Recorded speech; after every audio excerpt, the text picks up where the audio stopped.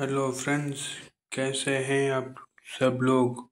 आशा करता हूँ सब लोग ठीक ही होंगे। मैं भी ठीक हूँ। और आज हम लोग बनाने वाले हैं रोटी, आलू की सब्ज़ी। ठीक है? तो बस लाइक करिए। ओके बाय फ्रेंड्स फिर मिलेंगे. ओके